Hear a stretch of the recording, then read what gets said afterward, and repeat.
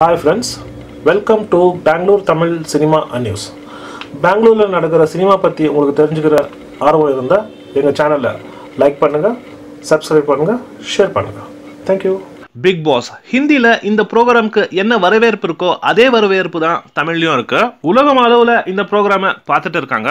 Bigg Boss season one plus season த்ரீய அதிக லெவல்ல ஆடியன்ஸை என்கேஜ் பண்ணிட்டு இருந்த ஒரு season season two plus season four கூட நிறைய பேர் பார்த்தாங்க. ஆனா அந்த ப்ரோக்ராம்காகவே வெயிட் பண்ணிட்டு இருந்ததுன்னா அது season one plus season three தான். இப்போ அந்த லிஸ்ட்ல சீசன் ஃபைவ் கூட இருக்கு. அதாவது பிக் பாஸ் சீசன் ஃபைவ் ஸ்லோவா வச்சாலும் இப்போ அந்த சீசன் கூட மிகப்பெரிய அளவுக்கு வரவேற்பு இருக்கு. அதுலயும் கமல் சாரோட என்ட்ரி என்ன இருக்கோ அதாவது சாட்டர்டே சண்டே கமல் சாரோட டே என்ன இருக்கோ அந்த நாள் மட்டும் டெலிவிஷன் ஷோலயே அதிகமான டிஆர்பி வாங்குற நாள்னா அது கமல் சார் வர சாட்டர்டேஸ் அண்ட் சண்டேஸ்ல தான் மிகப்பெரிய அளவுக்கு ஜனங்க பாக்குறாங்க.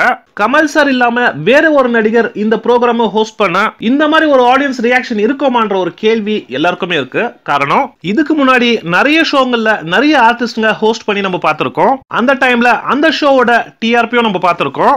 ஆனா கமல் சார் ஹோஸ்ட் பண்ற இந்த ப்ரோக்ராம் கிடைக்கிற வரவேற்பு இதுக்கு முன்னாடி எந்த ஷோக்கும் கிடைச்சதில்ல இனிமேல்ட்டு கிடைக்குமான்ற ஒரு சந்தேகமும் இருக்கு.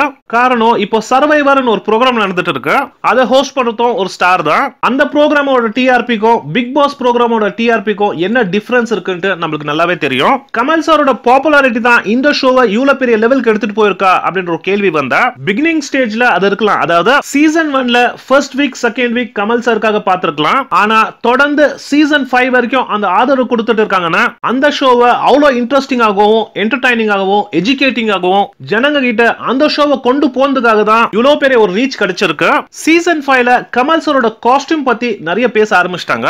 அதாவது கமல் சார் யூஸ் பண்ற ட்ரெஸ் ஆகட்டும் அவரோட பாடி லாங்குவேஜ் ஆகட்டும் அவர் இன்ட்ரடியூஸ் பண்ற புக்ஸ் ஆகட்டும் இந்த விஷயங்க ஜனங்க கிட்ட ரொம்பவே அட்ராக்ட் ஆயிட்டு இருக்கு. பிளஸ் கமல் சார் யூஸ் பண்ற வார்த்தைங்க ரொம்ப கவனமா இருக்கு. அதாவது எந்த கண்டஸ்டன்ஸ்க்கும் ஹர்ட் ஆகாம அவங்களுக்கு என்ன சொல்லணுமோ அதை ரொம்ப கிளீனா கன்வே பண்றாரு. கமல் சார் வர சாட்டர்டேஸ் பிளஸ் சண்டேஸ் என்ன வேலை இருந்தாலும் அதை விட்டுட்டு டிவி முன்னாடி நம்ம எல்லாம் உட்காந்து பாக்குறோம் அதுக்கு மெயின் காரணம் கமல் சார் தான். அதுலயும் இந்த சாட்டர்டே சண்டே என்ன இருந்ததோ அந்த டேவை எக்ஸ்ட்ரானரி டேவா பண்ணிருக்காரு. Saturday twenty third October last வீக்ல அபிஷேக் சொல்லியிருப்பாரு. நான் பிக் பாஸ் ப்ரோக்ராம பார்த்ததே இல்லைன்ட்டு. அதை இந்த வீக்ல அபிஷேக கமல் சார் திருப்பி கேட்டிருப்பாரு. அத அபிஷேக்கு ஹர்ட் ஆகாம ரொம்ப கிளீனா கேட்டு அவர் வாயிலிருந்தே உண்மையை வர வச்சாரு. பிளஸ் அபிஷேக்கு சில அட்வைஸ் எல்லாம் சொல்லியிருந்தாரு. அதுவும் ரொம்பவே நல்லா இருந்தது.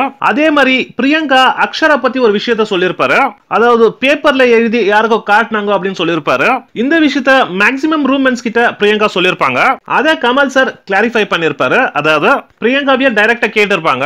அக்ஷரா மேல ஏதோ சொன்னீங்களா ஏதோ எழுதிருக்காங்கன்னு சொன்னீங்களா என்ன அதுன்னு கேட்டிருப்பாரு.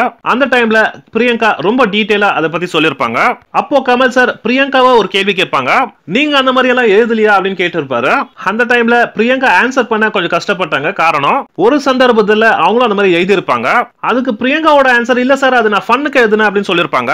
அந்த டைம்ல கமல் சார் இமீடியட்டா அட்டாக் பண்ணிருப்பாரு உங்க பாயிண்ட் ஆஃப் வியூல நீங்க ஃபன்னுக்காக எழுதிருக்கீங்கன்னா அவங்க பாயிண்ட் ஆஃப் வியூல அவங்களும் அப்படிதான் எழுதிருப்பாங்க அதை நீங்க எப்படி ஜட்ஜ்மெண்ட் பண்ணலாம் அப்படின்னு கேட்டிருப்பாரு. அந்த கேள்வியும் ரொம்பவே நல்லா இருந்தது. அது மட்டும் இல்ல பாவனி பிளஸ் அக்ஷரா இவங்க ரெண்டு பேருக்குள்ள ஒரு சின்ன ரப்பிங் போயிட்டு இருக்கு. அத்தியும் கமல் சார் வெளியில எடுத்துட்டாரு. உங்க ரெண்டு பேருக்குள்ள என்ன பிரச்சனைன்னு கேட்கும் போது ரெண்டு பேரும் அவங்களோட ஸ்டேட்மெண்ட் சொன்னாங்க. பிளஸ் ரூமென்ஸ் அத்தனை பேருக்கும் சில அட்வைஸும் சொன்னாரு. சில நல்ல விஷயங்களும் சொன்னாரு. அதே மாதிரி சண்டே டுவெண்ட்டி ஃபோர்த் அக்டோபர் இந்த டே கூட ரொம்பவே நல்லா எடுத்துட்டு போனாரு. கேப்டன்ஷிப்காக ராஜு கழுத்துல போட்ட மாலிய மறுபடியும் எடுத்து சிபி கழுத்துல ஏன் போட்டீங்க அப்படின்னு கேட்டிருப்பாரு. அதுக்கு சம்பந்தப்பட்டவங்க ஆன்சர் பண்ணிட்டு இருப்பாங்க. நடுவுல அபிஷேக் வந்து ஏதோ எக்ஸ்பிளனேஷன் கொடுப்பாரு. அந்த டைம்ல கமல் சார் டைரக்டா அவர் கேட்பாரு. நான் இத பத்தி அபிஷேக் கேட்டதே இல்லையே அப்படின்னு சொல்லுவாரு. அங்கேயும் அபிஷேக்கோட நோஸ் கட் பண்ணாரு. அது மட்டும் இல்ல இத மூலியமா ஹவுஸ்மேட்க்கு என்ன சொல்ல வர்றாருன்னா நான் யாரை கேட்கறனோ அவங்க மட்டும் தான் ஆன்சர் பண்ணுங்கன்ட்டு இன்டைரக்டா சொல்றாரு. அப்புறம் சில பாய்ஸ்ங்க உரிமையோட சில கேர்ள்ஸுங்கள வாடி போடி அப்படின்னு எல்லாம் பேசிட்டு இருப்பாங்க. அதை கமல் சார் கண்டிக்க போகல. ஆனா அவங்களுக்கெல்லாம் ஒரு சஜஷன் கொடுத்தாரு. நீங்க உரிமையோட பேசுறத விட்டுட்டு அவங்களுக்கு மரியாதை கொடுத்து பாருங்க. அந்த மாதிரி நீங்க கொடுத்தா உங்களுக்கு பல மடங்கு மரியாதை கிடைக்கும்ட்டு இன்டெரக்டா சொன்னாரு. பிளஸ் இமானாச்சு அண்ணாச்சி தாமரை பண்ண சாப்பாட்டுல உப்பு இல்லைன்னு எப்போ சொல்லியிருப்பாரு? அதை கமல் சார் கேட்டிருப்பாரு. உங்களுக்கு சமைக்க தெரியுமான்னு கேட்டிருப்பாரு. இமான் சொல்லியிருப்பாரு சுமாரா தான் தெரியும் சார் அப்படின்னு சொல்லியிருப்பாரு. அந்த டைம்ல கமல் சார் ஒரு ரீப்ளே கொடுத்திருப்பாரு. நம்ம சமையல்ல உப்பு இல்ல காரம் இல்லைன்னு சொல்றது ரொம்ப சுலபம். ஆனா நம்ம சமைக்கும் போது தான் அதோட கஷ்டம் தெரியும் அப்படின்னு சொல்லியிருப்பாரு.